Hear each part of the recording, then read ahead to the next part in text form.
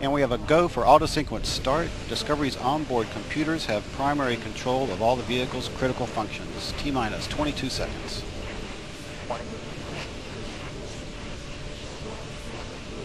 T minus 15 seconds and counting.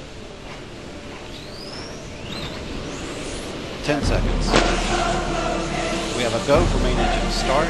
6.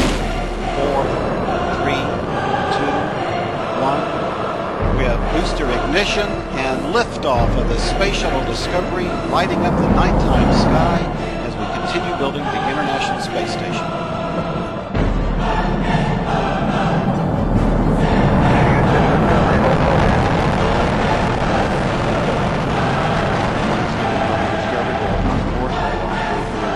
Space Station.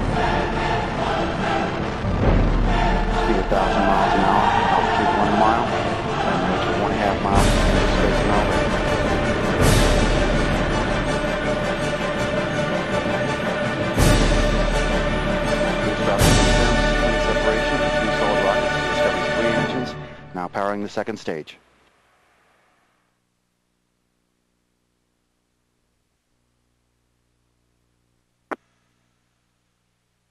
External tank separation confirmed.